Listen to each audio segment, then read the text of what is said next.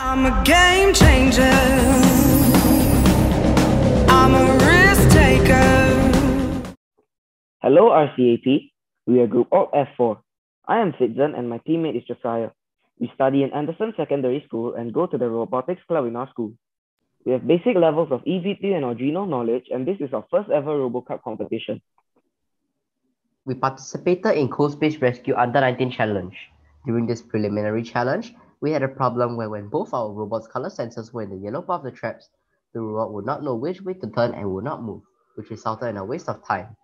To solve this problem, we added a code where if both color sensors sensed yellow, the robot would reverse and turn away.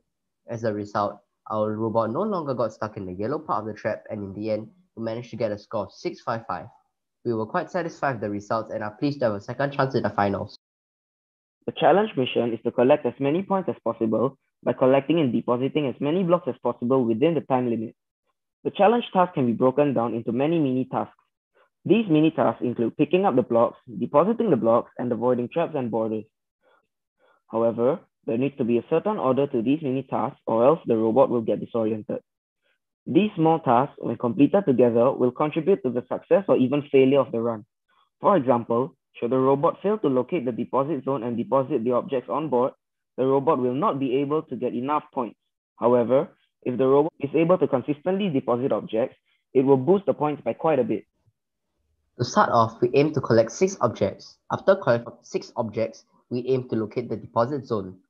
After depositing, if our robot deposited a set of RCB, the robot will try to locate the super object location and pick it up. Then the cycle continues. If at any time the robot senses the trap or it realizes that it is near the border, it will turn away. When we had problems remembering how to program any of the basic codes, we referred to this video for the basic codes. It only made sense to use this video as it was procured by the people of RCAP itself, so we knew that it was reliable and that it would work. Here is a picture of the flowchart for our AI algorithm. Our robot somewhat went according to plan. The basic code that we had prepared in advance worked, and all we had to do was update the ranges for the object colors. However, later on, when we tried to add some innovations to boost our, to boost our points a little, they backfired and cost us many points. We were satisfied with the result as we had aimed for a score or result in that range. We had slightly lower standards as compared to some other participants as this was our first time participating in such a competition. Thus, being able to hit a decent score was quite satisfying for us. Should we have another chance, we would aim to improve on our consistency. Our program was rather hit or miss, and consequently, we were forced to spend more time on grinding results of good runs. In total, we spent about 13 hours trying to get good runs with higher points than previous runs. Through this competition, we have learned about the importance of perseverance.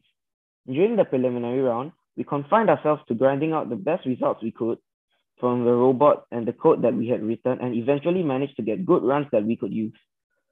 We have also gained invaluable experience about how online competitions are run in this day and age.